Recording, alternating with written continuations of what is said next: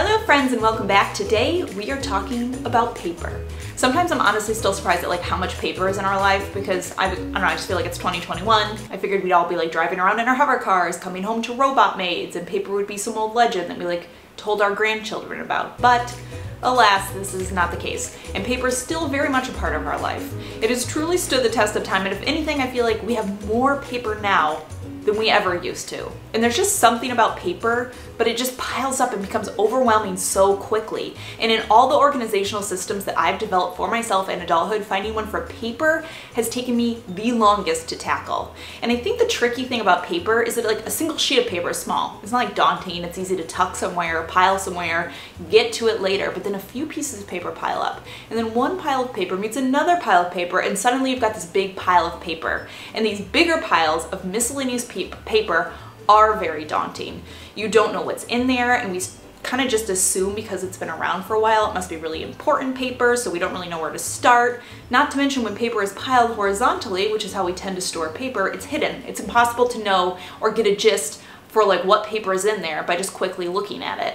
And this is how paper piles start and become really hard to conquer. But luckily, I have recently found a very simple, uncomplicated system which I'm going to share with you today. Once you have this system in place and adopted, you can easily tackle your paper problems in less than five minutes a day. So let's dive into this.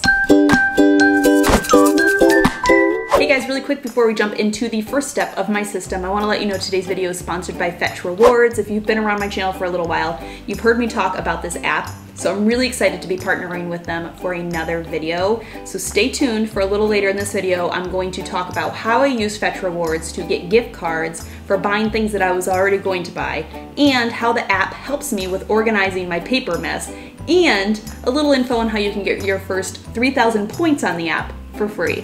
Okay, so the first thing that you need to have is a system in place for your paper. You can't start tackling new or old paper piles without first having a system in place for it. So I found in general we can categorize our paper into the following categories. There is chuck it, complete it, file it, and think about it. So that first category is chuck it. You don't need anything set up new for this category. These are just papers that need to be thrown away or recycled, so as long as you have a trash can and a recycling bin, you're good to go. So look at you, you are already off to a really great start with this. The next category is complete it. These are papers that need some immediate action in the next one to two weeks, such as bills or forms that need to be filled out. Now I find this category can get dicey and I often find it is a place where paper organization systems fall apart. The problem with this is the whole out of sight, out of mind issue. If we take a piece of paper that needs attention immediately or in the next, you know, week or two weeks and then file it away, we might forget all about completing it.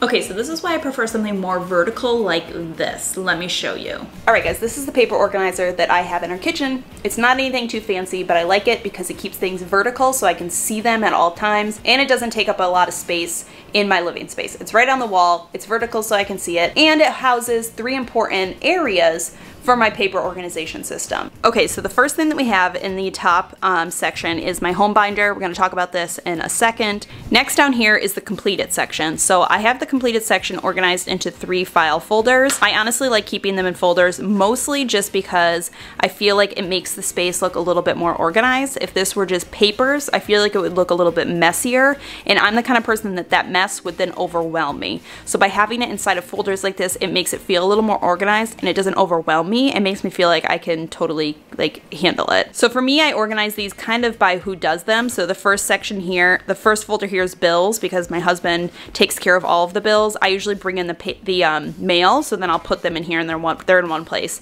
To do is something that needs to be completed. So this would be something like forms that need to be filled out. And these are typically tasks that I do. I tend to do these tasks in the household while my husband does the bill paying in the household. So it's basically, it really could just be called like the Michael folder and the Kallie folder. And at the bottom is my file it section, which we're going to talk about right now. All right, our next category is file it. For file it, these are papers that we need to keep, such as tax paperwork, deeds, certain receipts, and so on, but we don't necessarily need to take action on right away, or we're not gonna need them like right now. I have a couple places that I file paperwork. The first is our home management binder, and then I have an actual file cabinet. Now I keep my file cabinet in our basement, and the reason I keep it down there is because for filet paper, these are papers that I don't need daily, or even weekly, or even monthly. In my mind, it's really stupid to take up valuable space in the living space of my home. I don't have a huge house. So I don't want to take up valuable space in my home. These are papers that I do need to keep, but I don't need immediate access to them. It's the same reason that I swap out summer and winter clothes in my closet in the spring and fall. I don't need winter clothes taking up space in my closet in the summer. The final category is the think about it category, and I got this idea from the minimal mom. She actually calls it her time will tell bin, but basically the idea is that sometimes you end up with paper that you can't like make a decision on in the moment. Maybe it's not something that needs immediate attention, but it's also not something you want to throw away. These very often are the papers that end up making the piles that get moved around in your house. They often get mixed in with important paper and trash, making the piles even bigger, and then you end up with that paper pile fiasco. And that's why I love the think about it pile, because this eliminates this. It allows me to take action on the papers that are ready to be taken action on, while still having a spot for the paper that I might need. It gives me a little bit of wiggle room where I don't have to sometimes make immediate decisions on some papers where I'm not totally sure yet. Okay, so let's talk about some stuff that might go in the think about it bin. So I'm organizing this pile of paper. This is the events um, like brochure that comes out from my town that talks about like all the events that are happening this summer. This could be something that goes in the think about it bin because it might be something I want to reference later, but this is actually something I'm going to put in my home uh, binder. So we're going to talk about the home binder in a second. But another example is this is actually um, our local like newspaper for our local area. This is not something that I would put in the home binder because it's not necessarily something I'm going to be referencing throughout the summer. This is just like what's going on right now. And my husband and I usually like a chance to just browse through this, but we might not do it right now at some point throughout this week or next week. So something like this, your local newspaper, is something that you might put in the think about bin because you may reference it over the next week or two. Um, definitely don't need to keep it, don't need it sitting out, but it's not something I need to reference for a long time. It doesn't make sense to put in my home binder. Another example of something that might go in the think about a bin is if you do get any coupons um, or like offers in the mail, typically I just chuck these.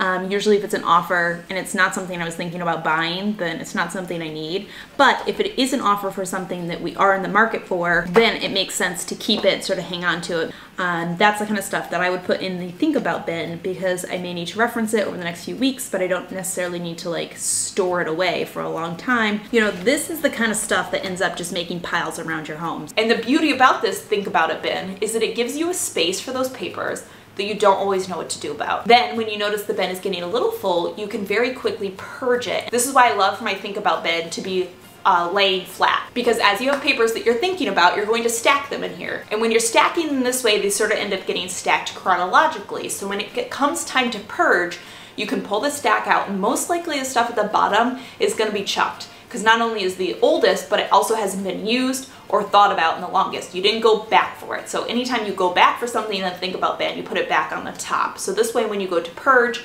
it's really easy because the stuff at the bottom probably you didn't end up using. Okay, let's talk about receipts because I feel like receipts are the kind of paper, they don't always end up in the little paper piles, but they just end up on the top of your microwave, they're at the bottom of your purse, they get shoved like into bags or whatever. So if it's a receipt for a bigger purchase or something you're gonna need for taxes, then you're just gonna wanna put it right away into your file it location. So you can file it away for reference later.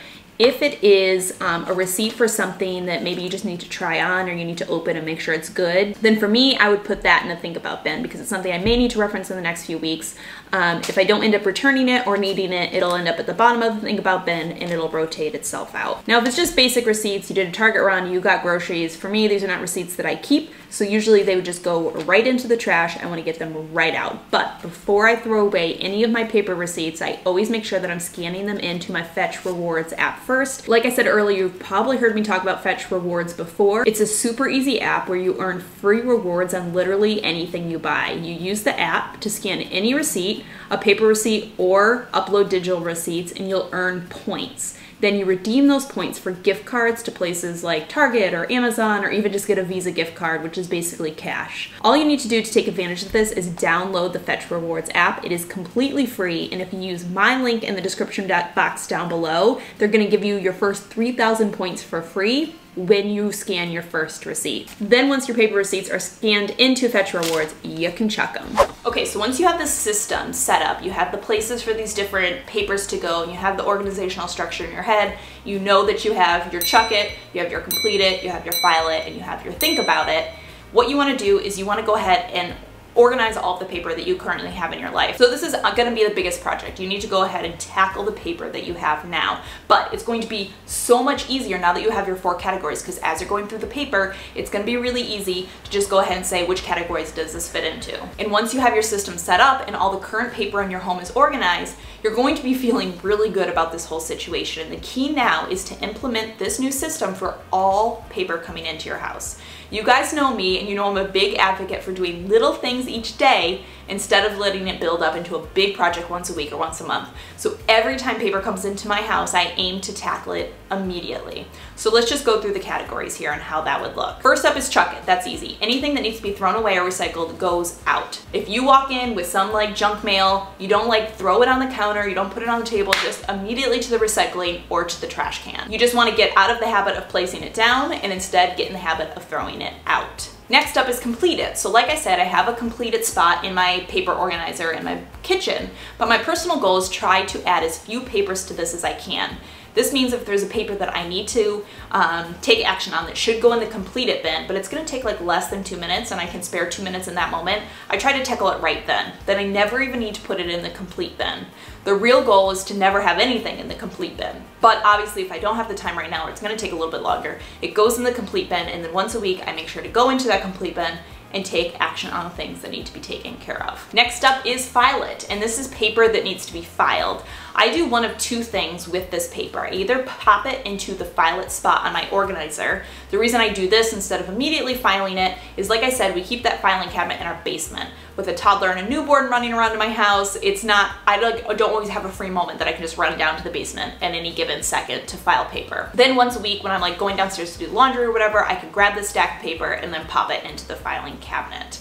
Now the second thing that I might do with a file it item is put it in our home binder. And that's something that I would just do immediately since it lives in our kitchen, which is in our living space. So it's really easy for me to just grab it and quickly file it where it goes. Okay, so this is my home binder and it's a little bit of mixture of file it stuff and of think about it stuff, but it's everything that has to do with like running the house, if that makes sense. So if we're working on any house projects, we just bought this house less than two years ago, so we're doing little house projects. So I have a section in here for projects. Like right now we're working on building a new deck, so we have like our permit information in there, like the paperwork for the town, where the check would go so that we can pay the permit guy, all that kind of stuff. I have a section in here just for like mailing stuff where I keep like my stamps and I keep our return addresses. I keep some extra thank you notes just because those are things that I need around. It's like things I need to run my household. Then I have one for memberships and events. So information about like any memberships we have, whether it's like a YMCA membership or membership to a gym. And then like we have, this is like the current events catalog for the town that we live in. So I would put that in here so I can reference it.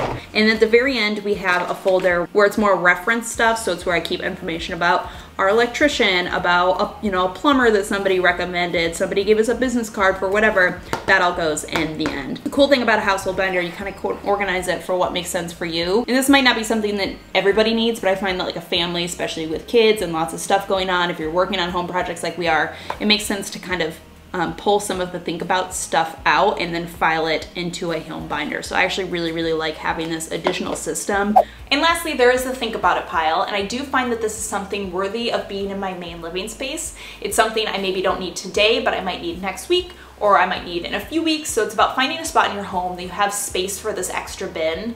All right, my friends, that does it. That is the quick little system that I have adopted. It took a few very small little tweaks to places in my home, really doesn't take up a ton of space in my home at all, as you saw. And then again, it's just about adopting the system when paper comes into my home, literally takes less than five minutes a day, probably less than that. I'd say maybe two minutes a day to conquer the paper so there's not little piles of paper hanging around the house all of the time. As always, thank you so much for stopping by and watching. I hope you are having a fantastic day, and I will see you all in my next video.